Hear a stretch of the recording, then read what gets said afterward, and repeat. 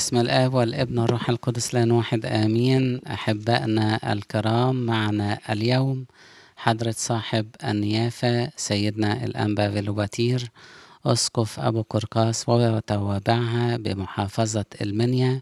يقدم لنا اليوم محاضرة هامة عن الرتب الملائكية وطغماتها وسيدنا الأنبا فيلوباتير بيشارك معنا في برنامج الإيمان للتوعية الأرثوذكسية والوعي الأرثوذكسي وحاضر معنا أتسونا بولس حليم وهذا البرنامج تحت إشراف حر صاحب النيافة سيدنا الأنبا بنيامين مطران المنوفية ومقرر لجنة الإيمان والتعليم. آه بنقدم شكرنا أيضا لحر صاحب النيافة سيدنا الأنبا أرمية القائم على قناة ميسات ودوره الرائد معنا في هذا المجال. ويحضرنا اليوم آه يا أحبائي قول للقديس معلمنا يوحنا ذهبي الفم بخصوص الملائكة فيقول أن الله هو كائن أزلي لا حاجة لديه وقد أبدع الملائكة. رؤساء الملائكة والجواهر غير الجسدية جميعا بسبب صلاحه فقط. آه النهاردة سيدنا الأنبا فيلوباتير والمتخصص في آه العلوم آه اللاهوتية والعقائدية على الأخص القانون آه الكنسي آه يحاضرنا في هذا اليوم. أهلا بنيافتكم سيدنا. تفضل نيفتك أهلا بنيافتك. آه بسم الآب والابن والروح القدس الإله الواحد آمين. آه كل الشكر لصاحب النيافة سيدنا الحبيب الأنبا مارتيروس آه كلمات المحبة التي لا أستحقها. وشكرا لوجوده وجود وجود أبونا بولس حليم. شكرا لوجود شباب الأحباء. كما أتقدم بكل الشكر إلى كل القائمين على خدمة هذا البرنامج الهام الذي يقوم بعمل توعوي لشعبنا المبارك. تباركت بوجودي في حلقة سابقة تكلمت فيها عن الملائكة ومعنى اسمهم والأدلة الكتابية على وجودهم في العهد القديم والجديد وتكلمت أيضا عن الألقاب التي لقبوا بها في كلمة الله وبعض الصفات التي ذكرتها أو استخرجناها من ما ذكر عنهم في كلمة الله. وقلنا في الحلقة اللي فاتت إن كلمة الملائكة بتقال عن جميع الطغمات السمائية. لكن كلمة الله أفردت لنا أيضا. بعض الرتب والطغمات السمائية وحملت أسماء متنوعة وكان لأسمائها دلالة خاصة لطبيعتهم أو لعملهم. فابتدي بكلمة بنعمة الله أتكلم عن الرتب والطغمات السمائية التي ذكرتها كلمة الله. ابتدي أولا بالشاروبيم والسرافيم أو السرافيم والشاروبيم بداية السرافيم لفظ السرافيم لفظ عبري في صيغة الجمع وبيجي منها مفرد صاروف والكلمة بتعني أو بتشير إلى الحرارة والتوهج التوهج الروحي طبعا. وفي ذلك يقول القديس ديونيسيوس الأريوباغي أن اسم السيرافيم يدل بوضوح على ثورتهم المتواصلة ثورتهم طبعا يقصد ثورتهم الروحية توهجهم الروحي. والخالدة نحو المبادئ الإلهية وحرارتهم وحرصهم وحماسهم الشديد. لكن وصفتهم بوضوح كلمة الله في سفر أشعية الإصحاح السادس على النحو الآتي. بيقول أشعية في السفر في الإصحاح السادس من العدد الأول إلى العدد السادس هذه الكلمات. رأيت السيد جالسا على كرسي عال ومرتفع وأزياله تملأ الهيكل. السيرافيم واقفون فوقه لكل واحد ستة أجنحة. بإثنين يغطي وجهه وبإثنين يغطي رجليه وبإثنين يطير. وهذا نادى ذاك قائلا قدوس قدوس قدوس. كلمة قائلا مش مذكورة لكن أنا بشرحها يعني. رب الجنود مجده ملء كل الأرض. من هذا النص بيدينا آه، بعض المعرفة عن السرافيم وعن عملهم.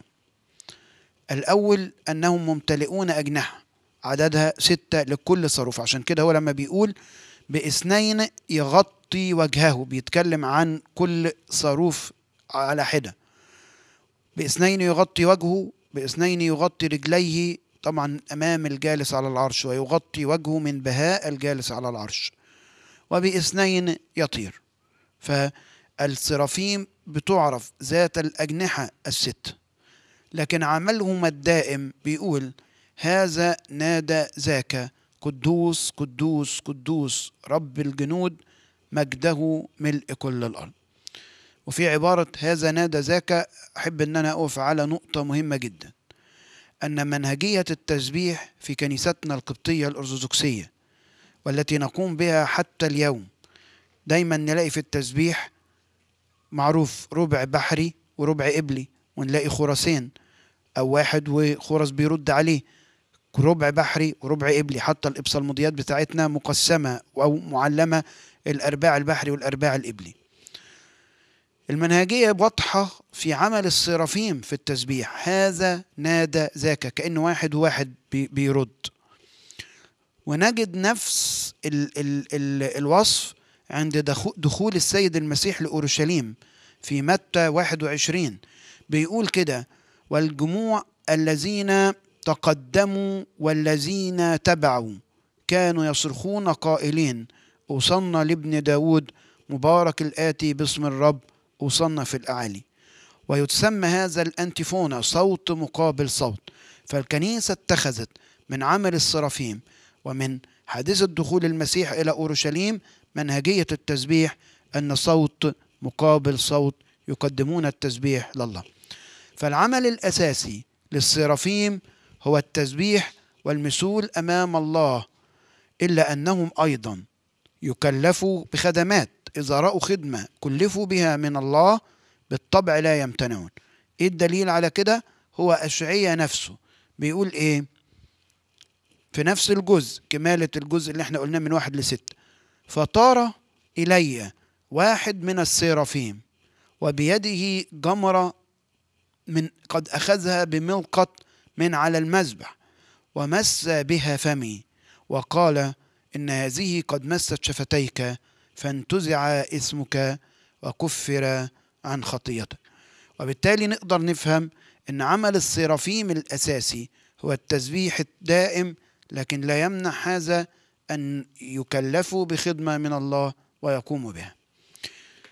الشاروبيم ويعرفوا أيضا بالكاروبيم يعني كلمة الشاروبيم أو الكاروبيم هما واحد. وكلمة أيضا كلمة عبرية في صيغة الجمع المفرد منها قاروب ويعني الكثير الأعين. يعني كلمة شاروبيم نفسها كلمة بتعني كثيرة الأعين. وذكروا في عدة شواهد في في سفر الخروج 25 العددين 18 و 19 لما الله أمر موسى أن يصنع قاروبين من الذهب على غطاء التابوت. هم طبعا مش دول مش دول مش قاروبين حقيقيين لكن هو امره أن يصنع رمز لوجود كاروبيم حقيقي فيصنع من الذهب على غطاء التابوت. عشان كده يقول القديس بولس في العبرانيين وفوقه فوق التابوت العام قروب المجد مظللين الغطاء.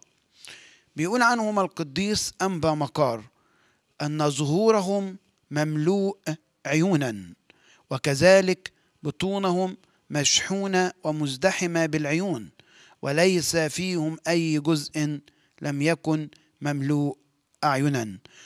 والعيون طبعا بتدل على إيه؟ على امتلاءهم بالمعرفة. طبعا معروف عن القديس الأنبا مكار أنه صديق الشارويم لظهورهم له ولما ظهروا هو اللي وصفهم بهذا الوصف. في ملاحظة نعرفها قبل ما أتكلم عن وظيفة الشاروبيم إنه الطغمة اللي سقطت وأصبح الشيطان كان من هذه الرتبة أو من هذه الطغمة. ليه؟ لأنه بيقول أنت القروب في سفر حزقيال إصحاح 28 عدد 13 أنت القروب المنبسط المظلل وأقمتك إلى آخره. وبالتالي كان من رتبة الكاروبيم وكان اسمه ساطنائيل التي تعني زهرة بنت الصبح ثم سقى. أما وظيفة الشاروبيم أظهرت لنا كلمة الله أكثر من عمل لهم. أولا معلمنا داود النبي بيقول يا جالسا على الكاروبيم اشرق. وبالتالي فلهم دور أنهم يحملون هم المركبة التي تحمل عرش الله. لكن ظهر لهم أيضا دور آخر هو عمل الحراسة. حينما تقول كلمة الله في سفر التكوين أقام أقام الله يعني شرقي جنة عدن الكاروبيم ولهيب سيف متقلب لحراسة طريق شجرة الحياة. هذا بالإضافة إلى اشتراك جميع الطغمات السمائية زي ما هنتكلم بعد كده عن إجمالي وظائف الملائكة الطبيعي الوجود في حضرة الله يتبع معه طبيعيا بالتسبيح والصلاة والعبادة الدائمة. ثلاثة الأربعة أحياء غير المتجسدين أو الأربعة حيوانات غير المتجسدين. قال عنهم سفر الرؤيا في الإصحاح الرابع العددين ستة وسبعة. وفي وسط العرش وحول العرش أربعة حيوانات مملوءة عيونا من قدام ومن وراء. بعدين بيوصفهم. الحي... وال... والحيوان الأول شبه أسد. والحيوان الثاني شبه عجل. والحيوان الثالث له وجه مثل وجه إنسان. والحيوان الرابع شبه نسر طائر. يعني الأربعة حيوانات غير المتجسدين كل واحد منهم يظهر بشبه. طبعا هم بالكلمة في وسط العرش وحول العرش. أربعة حيوانات في وسط العرش الله لكن هم مع الشاروبين في خدمة الله يحملون العرش الإلهي.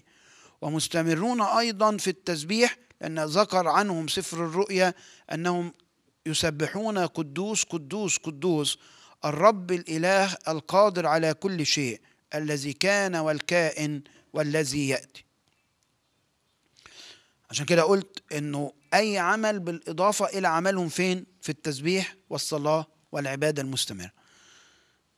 في آراء على شبه أو تشبيه أو إن لهم أشباه. يعني شبه أسد شبه عجل شبه شبه إنسان شبه نسر. قديس يوحنا ذهبي الفم بيقول إيه؟ أن الله منح لكل واحد من هؤلاء الملائكة شكلا من أشكال المخلوقات ليكون ذلك باعثا ومحركا لها في الطلب المتواتر إلى الله عمن يحاكيه شكلا وإن اختلفت طبعا في المقام والطبيعة. يعني عايز يقول إن اللي له شكل إنسان يطلب عن البشر. اللي له شكل العجل يطلب عن الحيوانات الأليفة اللي هي حيوانات الزرع والحيوانات اللي ممكن نلاقيها في, في الأرض حوالينا. والذي له شكل الأسد يطلب عن حيوانات البرية والغابة. والذي له شكل النسر يطلب عن الطيور بأنواعها. لكن بعض علماء اليهود اللاهوت متأسف بعض علماء اللاهوت يقولوا أنهم يعبرون كل منهم عن صفة من صفات الله الظاهرة بالأكثر فيقولوا إن الأسد يشير إلى قدرة الله وقوته والعجل يشير إلى عمله وصبره لأنه معروف عن أنه يعمل كثيرا. والإنسان يشير إلى جود الله ومعرفته وعلمه والنسر يشير إلى جلال الله وحكمته العالية. فالقديس يوحنا بيقول أن لهم أشباه علشان ده يكون باعث إن هم يطلبوا كل واحد من الحيوانات الأربعة يطلب عن من شبهه. كان علماء اللاهوت بيقولوا إنهم بيمثلوا أو بيظهروا لنا بهذه الأشباه صفات الله الظاهرة. إحنا نقول ولماذا لا يكون هذا وذاك؟ أربعة الكراسي والعروش. أنا عايز أقول برضو أنه ذكر كثير في كلوسي الإصحاح الأول العدد 16 جمع كثير من هذه الطغمات. لما بيقول فإنه فيه في المسيح خلق الكل ما في السماوات وما على الأرض ما يرى وما لا يرى. فبعدين يقول سواء كان عروشا أم سيادات أم رياسات أم سلاطين. الكراسي أو العروش إثرونوس وتسمى أيضا المنابر الكثيرة القدس. ووصفت كلمة الله أن هناك طغمة واحدة من الطغمات وصفها بأنها جالسة على العروش. لما قال سفر الرؤيا وحول العرش أربعة وعشرون عرشا رأيت على العروش أربعة وعشرين قسيسا. جالسين متسربلين بثياب بيض على رؤوسهم أكاليل من ذهب. وتميزوا عن باقي الطغمات أو باقي الملائكة أنه أيضا قالت عنهم كلمة الله في سفر الرؤيا في وصفهم أنهم بالحالة التي وصفوا عليها يحملون في أيديهم كيثارات وجامات من ذهب مملوءة بخورا الذي هي صلوات القديسين. ميزتهم ووصفتهم كلمة الله بعدة صفات لكل منها دلالة. قالت عنهم جالسين. إشارة إلى الاستقرار والكرامة. ثم متسربلين بثياب بيض. إشارة على نقاوتهم وقداستهم وطهارتهم. ثم على رؤوسهم أكاليل هذه الأكاليل مصنوعة من ذهب. أكاليل النصرة دايما إكليل يرمز للنصرة. حتى لما بنتسائل هو ليه العرسان في في صلاة الإكليل وسميت صلاة الإكليل والأب الأسقف أو الأب الكاهن يضع على رأسهم أكاليل قالوا علشان أنهم غلبوا وانتصروا وحفظوا بتولياتهم. فالأكاليل دايما بتدينا إشارة إلى النصر. ثم من ذهب يشير الذهب إلى الغنى والجمال والنقاء. فلهم وصف خاص في كلمة الله. لهم كرامة خاصة. وفي دلالات على نقائهم ونصرتهم وغناهم وجمالهم. أما عملهم فطبعا زي ما إحنا قلنا التسبيح وبيقول يخرون يعني يسجدون. عبادتهم الدائمة إلى الله. لكن أيضا يقول عنهم يقدمون البخور من المجامر التي في أيديهم.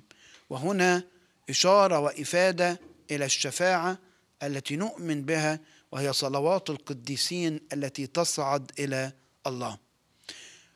بيكمل ده الكلمة المترجمة πρεσβύτερος. ال 24 قسيس مترجمة πρεσβύτερος.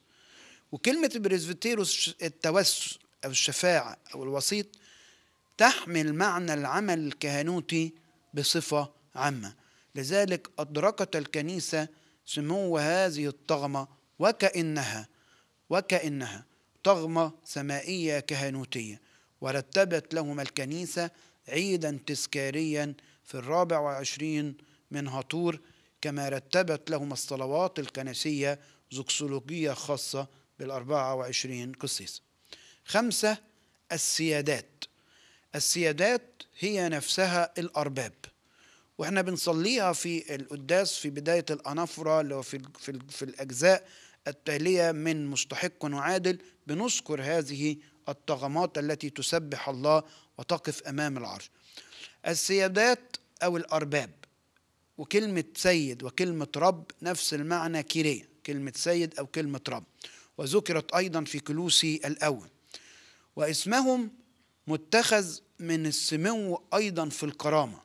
وبيقول عنهم ديونيسيوس الأريوباغي أعتقد أن اللقب المعطى لهم الأرباب والسيادات دلالة الارتفاع والتحرر من الأرضيات ومن الأهواء. ثم ستة السلاطين. والتي تترجم في اليونانية وفي القبطية أيضا إكسوسية. عشان كده هنسمعها برضو في الجزء نفسه اللي أشرت ليه في القداسات ني إكسوسية. من الرتب السمائية دائمة التسبيح أمام الله التي خلقها الله.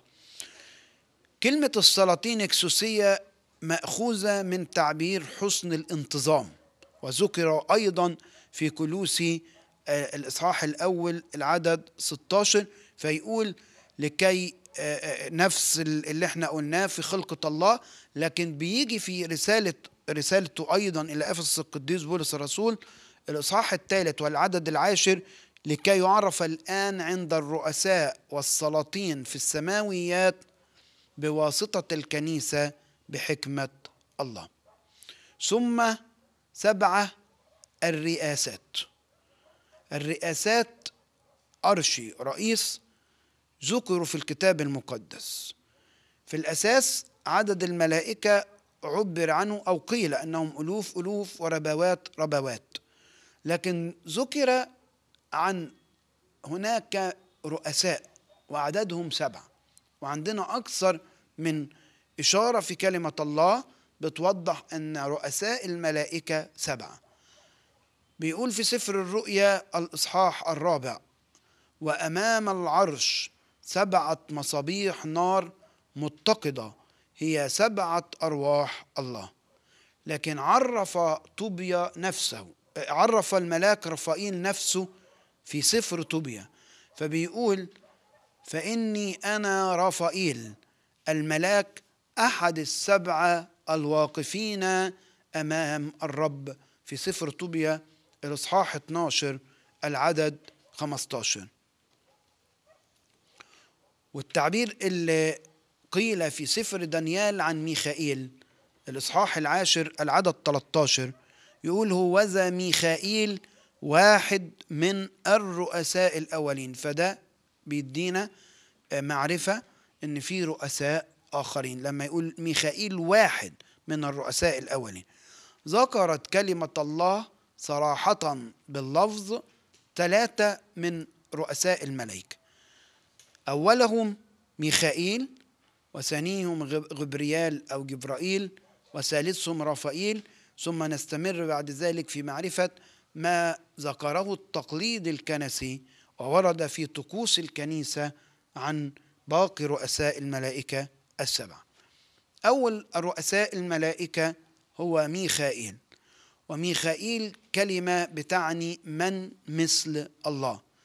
وزي ما إحنا قلنا ذكره ورد في دانيال الإصحاح العاشر هوذا ميخائيل واحد من الرؤساء الأولين وذكر أيضا في سفر دانيال الإصحاح 12 ميخائيل الرئيس العظيم القائم لبني شعب علشان كده إحنا بنعرف إنه في رؤساء الملائكة لكن واضح من كلمة الله أن ميخائيل متقدم. عشان كده قيل عنه الرئيس العظيم. عشان كده الكنيسة لما بترتب في الترتيب في الملائكة ورؤساء الملائكة تبتدي بميخائيل وفي الزوكسولوجية الخاصة تقول ميخائيل هو الأول.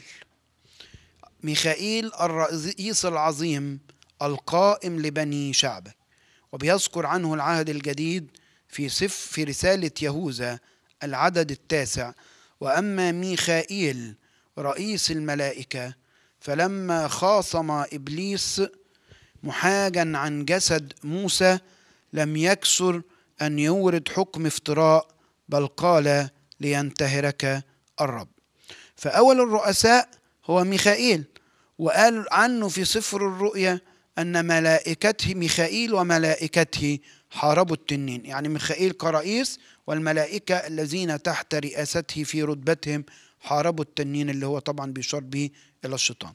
كما ذكر أيضا ميخائيل في التقليد الكنسي أنه هو الملاك الذي دحرج الحجر وجلس عليه على من فم القبر عند قيامة الرب يسوع المسيح. لكن بنؤمن أيضا أن ميخائيل الواقف أمام الله يشفع عن البشر وعن المياه والأهوية والزروع وترتب له الكنيسة أكثر من عيد. العيد 12 هطور وعيد 12 بقونة ثم له عيد كل يوم 12 من الشهر القبطي. يعني كأننا بنحتفل بالملاك ميخائيل 12 مرة في السنة. لكن العيدين دول الأعياد الرئيسية له لكن بنحتفل به في الكنيسة كل شهر قبطي يوم 12 الثاني في الرؤساء هو غبريال أو جبرائيل والكلمة تعني جبرؤوت الله أو قوة الله وعرف. غبريال أو جبرائيل بعمل البشارة عشان كده يقال عنه ملاك البشارة من العهد القديم ظهر لدانيال النبي وفسر له الرؤيا التي لم يفهمها دانيال سمعت صوت إنسان بين أولاي فنادى وقال يا جبرائيل فاهم هذا الرجل الرؤيا. لكن في العهد الجديد ظهر عمله واضحا في البشارة فهو الذي بشر زكريا بميلاد يوحنا المعمدان وهو الذي بشر العذراء أيضا بالحبل بالسيد المسيح له كل المجد. وتعيد له الكنيسة عدة أعياد 13 هدور 22 كياه و30 برمهات كما تعيد له في 26 باؤونة تكريس كنيسة الملاك غبريال أو جبرائيل. الرئيس الثالث هو رافائيل وكلمة رافائيل تعني رأفة الله وشفاء الله ويعرف ويدعى بالملاك مفرح القلوب. قال هو عن نفسه في سفر طوبيا أنا رفائيل الملاك أحد السبعة الواقفين أمام الرب. طبعا كان له دور واضح في سفر طوبيا وفي عمله مع طوبيا في رحلته وفي وصفه للشفاء ووصف له ما أنجح زواجه كما ذكر سفر طوبيا وتعيد له الكنيسة اليوم الثالث من الشهر الصغير شهر النسيء. بعد الثلاث رؤساء ميخائيل وغبريال ورفائيل التقليد الكنسي ينقل لنا أسماء الأربعة الآخرين الأربعة رؤساء الآخرين. سوريال وصداقيل وسراسييل وأنانييل ويذكر في زكسولوجيات الملائكة. لكن يذكر التقليد عن سوريال أنه الملاك المبوق. يعني هو كلمة سوريال كلمة بتعني الله صخرتي لكن لما مثلا بيقول في كورنثوس الأولى الإصحاح 15 في لحظة في طرفة عين عند البوق الأخير فإنه سيبوق فيقام الأموات عديم الفساد ونحن نتغير التقليد الكنسي. بيحمل لنا إشارة أن سوريال هو الملاك المبوق. كلما ذكرت كلمة الله عن ملاك استخدم الأبواق حتى في سفر الرؤيا التقليد يقول أن سوريال هو الملاك المبوق لكن لم يذكر ذلك صراحة في الكتاب المقدس. نقدر نقول من خلال حديثنا عن الطغمات والرتب السمائية السابق الحديث عنها أن للملائكة أولا عمل التسبيح والسجود والعبادة المتواصل أمام الله. لكن كان لهم أيضا أعمال أخرى في خدمة المسيح خلال تجسده وذلك ظهر في البشارات الخاصة بميلاده في التجربة أثناء بعد التجربة جاءت ملائكة لتخدمه في بستان جثيماني ظهر له ملاك من السماء ليقويه وفي القيامة دحرج الحجر وبشر النسوة. لكن له وله الملائكة أيضا دور في المجيء الثاني مع المسيح متى جاء مع ملائكته القديسين ولهم أيضا عمل الحصاد في المجيء الثاني. العمل الثالث للملائكة هو خدمة البشر أليس جميعهم أرواح خادمة مرسلة للخدمة لأجل العتيدين أن يرثوا الخلاص؟ وذكرت كلمة الله عنهم في المزامير ملاك الرب حال حول خائفيه وينجيهم كما ذكرت عنهم كلمة الله في سفر أشعية في كل ضيقهم تضايق وملاك حضرته قلصهم. أختم بمكانة الملائكة العظيمة في الكنيسة. أدركت الكنيسة عظمة الملائكة ووضح ذلك في التسابيح والتماجيد والصلوات الكنائسية في طقوسها المختلفة. فيأتي الملائكة مباشرة بعد العذراء فالعذراء لها الرتبة والمكانة الأولى وكما نؤمن ونقول أنها سمت وارتفعت على السمائيين والأرضيين العذراء الثيوتوكوس والدة الإله.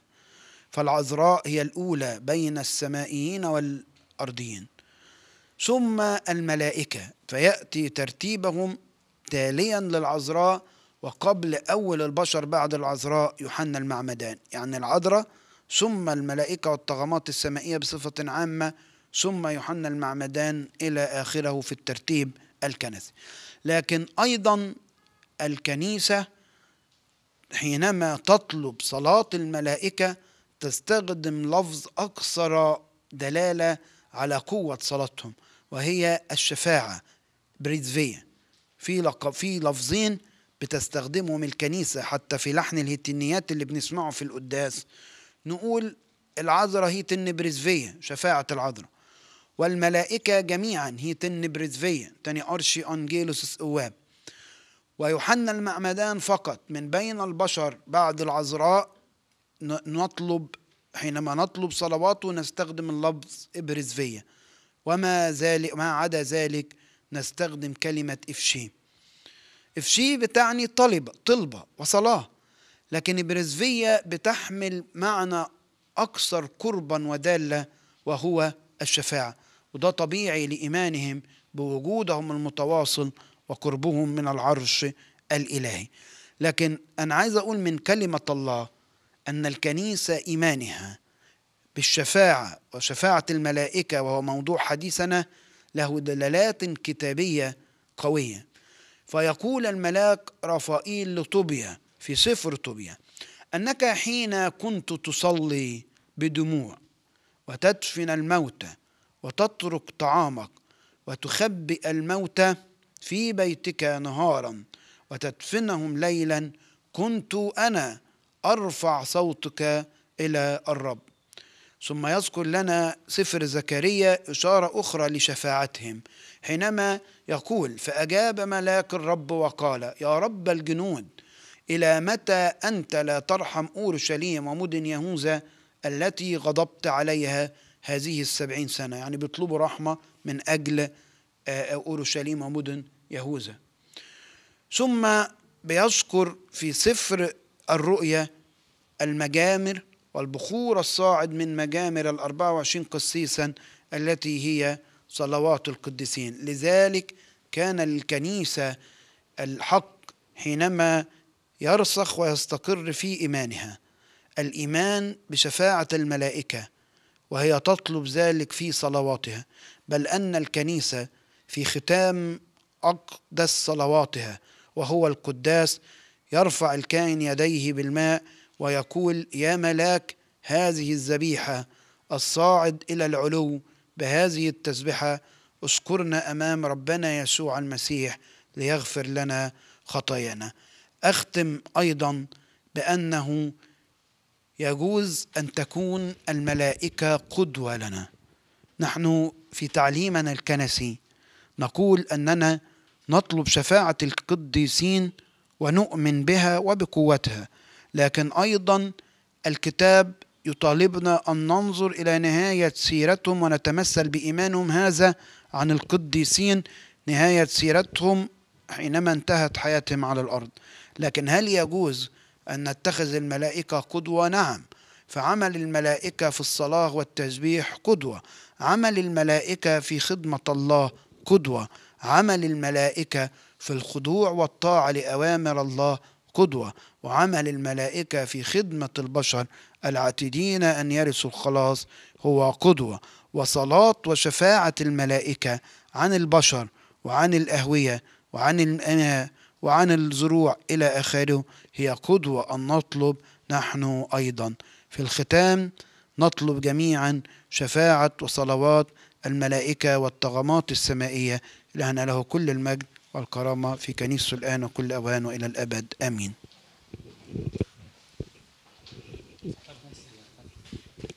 سلام يا سيدنا. آه، كان عندي سؤال. هو نيافتك قلت إن الملائكة في المجيء التاني ليهم عمل كعمل الحصاد. ممكن بس نوضح أكتر عملهم إيه في المجيء الثاني؟ تمام. هو ذكرت كلمة الله عن الملائكة في المجيء الثاني. أولهم أنهم متى جاء مع ملائكته القديسين. لكن العمل اللي قالته كلمة الله في الإنجيل القديس متى؟ الإصحاح 13 أنهم يقوموا بعمل الحصاد. والحصاد يعني الفرز لما يجي واحد يحصد الأرض فيقولوا من ضمن العمل اللي, اللي, اللي بتاعه بيحصد الزرع الجيد وبيرمي الرديء فقالت كلمة الله عن الملائكة في عملهم في المجيء الثاني هكذا يكون في انقضاء العالم. يخرج الملائكة ويفرزون الأشرار من بين الأبرار. لكن برضو لازم أقول أن الآب قد أعطى كل الدينونة للإب. بمعنى أن الملائكة لن يحكموا. الحكم والدينونة لله. لكن يقوم الملائكة بأمر إلهي. كأنهم يقومون بعمل بالأمر الإلهي أنهم يفرزوا الأبرار عن الأشرار في الدينونة. سيدنا أنا اسمي مريم مجدي. كان عندي سؤال. آه ربنا دايما بيشوف الملائكة في السماء. ليه إحنا ما عندناش السلطة إن إحنا نشوف الملائكة؟ وهل القديسين في السماء بيشوفوا كمان الملائكة ولا لأ؟ طيب. هو طبعا إحنا في حدود جسدنا البشري الذي يخضع لعمل الحواس نرى بالعين ما هو مرئي. لكن نرى بالإيمان كل ما هو غير مرئي. والسيد المسيح له المجد طوب ذلك بالأكثر يعني في آه، آه، بعد القيام القيامة وشك توما المسيح طوب من يؤمن وهو لا يرى. وكأن المسيح يعطي بالأكثر الطوبة لنا إذ نؤمن من غير ما نرى بحواسنا الظاهرة طبيعي إن اللي أنا هشوفه أؤمن بيه لكن قوة إيماني إن أنا أرى بالإيمان ما لا أدركه بالحواس هذا نال الطوبة من المسيح نفسه. فأنا أعتبرها أنها أنها طوبة للإنسان أنه يؤمن بالله ويراه بعين الإيمان ويؤمن بالقديسين ويراهم بعين الإيمان ويؤمن بالملائكة والطغمات السمائية ويراهم بعين الإيمان دون أن يدركهم بالحواس. أما القديسين في السماء طبعا بلا شك بيروا الملائكة وكل القوات السمائية لكن ده يتحقق إمتى؟ في القيامة. يتحقق بالأكثر وبشكل كامل كما وصفه سفر الرؤيا بعد القيامة والمجيء الثاني. سلام يا سيدنا. سلام. آه اسمي ميري أكرم وعندي سؤال. آه القديسين هيدنونا زي ما ربنا هيدنا فالملائكة كمان هيدنونا ولا لأ؟ لا. أنا بس عايز أصلح حاجة بسيطة. القديسين مش هيدينونا زي ما ربنا هيدين. لا الآب قد أعطى كل الدينونة للابن. ونقدر نفهم أن الذين سيدينون أو القديسين يدينون بأعمالهم وبسيرتهم أنهم آمنوا وتبعوا وعاشوا الوصية خلافا لمن لم يعش حياتهم لكن مش هيدينوا زي ما ربنا هيدين. الملائكة يدين الإنسان لو اتخذناها بنفس المعنى ومن نفس المنظور أن عملهم الدائم في السماء وطاعتهم الدائمة لله الفاعلين أمره حين سماع صوته بلا شك قد يكون دينونة لكل من خالف لكل من تقاعس لكل من رفض الصلاة لكل من لم يعش ويفهم ويحيا التسبيح. أكيد يكون أيضا لهم دينونة بهذا المنظور. سلام يا سيدنا أنا اسمي سيمون عادل. أهلا وسهلا. آه ربنا بيحب الإنسان حتى إن هو نزل فداة وخلقه على صورته. هل ربنا بيحب الملائكة زي ما يحب الإنسان ولا في فرق بيننا؟ طيب هي نقدر نفهم إنه محبة الله الفائقة كانت للإنسان بالأكثر. طبعا محبة الله غير محدود وبيحب كل خليقته. لكن زي ما بنقول تاج الخليقة هو الإنسان. والدليل على كده إنه بيرسل الملائكة لخدمة الإنسان وأنه خلق الملائكة قبل الإنسان وكل الخليقة. خلقها وكأنه خلق الإنسان بعد أن أعد له كل شيء يحتاجه.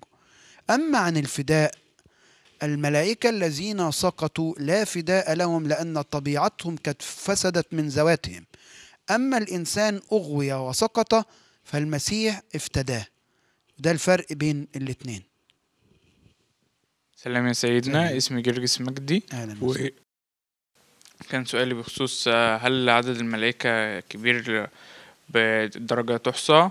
ولو كان كبير فليه الغرض من وجود هذا العدد؟ وما دام الملاك يقدر يعمل آه، أعمال كتير قوي تمام. وطبعا عدد الملائكة إحنا ما نقدرش نعرفه لكن غير محدود لا محدود. وخلق بعدد. ولا يتناسل عبر عنه الكتاب ألوف ألوف وربوات ربوات. عددهم لا يزيد ولا ينقص بعد سقوط ال- الملاك الساقط. لكن لا لا يزيد لأنهم لا يتناسلون. عددهم كما هم وباقين. لا ينقص لأنهم خالدون. آه، أعمالهم كثيرة جدا طبعا لأن عبر عنها الكتاب أنهم مقتدرين قوة. عشان كده للملائكة أعمال لا يمكن للإنسان أن يعملها. ليه عددهم كتير؟ أنه ال- الله في صلاحه خرج خلق كائنات أنعم لها أنعم عليها بصلاح بصلاحه خارج ذاته من محبته. آه، وطبعا إحنا مش هنقدر ندرك حكمة الله في كل شيء يعني مش هنقدر ليه المسيح ليه الله خلق كل الكائنات السماوية؟ ليه خلق الرتب ده؟ كلمة الله أوضحت أعمال مختلفة له لكن كمال حكمة الله محدش يقدر يدركه وخاصة أن كلمة الله لم تعلن كل شيء عن الكائنات السمائية وعن كل عملهم لكن عرفتنا ما أراد الله أن نعرفه. سلام يا سيدنا سلام. أنا اسمي مرنا أهلا. آه كنت عايزة أعرف إيه الشبه بين خدمة الملائكة وخدمة البشر؟ تمام. الشبه إحنا أنا قلت في الكلمة أن الملائكة ممكن أن يقودوا أن يكونوا قدوة. نعم يمكن أن يكونوا قدوة لأنهم قدوة في خدمة الله وقدوة في خدمة البشر. لكن الفرق مختلف لاكثر من سبب. الكتاب عبر عنهم ملائكته المقتدرين قوة. اثنين طبيعة الملائكة أن تتحرك ويرسل الله في أي مكان ولا ترى. فنجد الملائكة مثلا. فتحت باب السجن بعمل إلهي معجزي. الملائكة ملاك واحد قتل 185 ألف من جيش سنحريب. ملاك نزل وسد أفواه الأسود. فالملائكة تكلف بخدمة تتناسب مع طبيعتهم ومع كونهم مقتدرين قوة. لكن الإنسان يقدر يخدم في حدود إمكانياته وقدرته لكن أيضا من نبع طاعته وخضوعه ومحبته لله وللإنسان أخوه خليقة الله. سلام يا سيدنا. سلام. اسمي ساندي أشرف. هو إحنا عندنا ملايين من البشر. فهو في كده عند الملائكة؟ ملايين من الملائكة. هو ال ال زي ما أنا قلت هو العدد عبر عنه الكتاب ألوف ألوف وربوات ربوات. ألوف ألوف يعني أنهم ملايين. أنا طبعا مش هقدر أقول لأن كلمة الله عبرت بده. ألوف ألوف وربوات ربوات.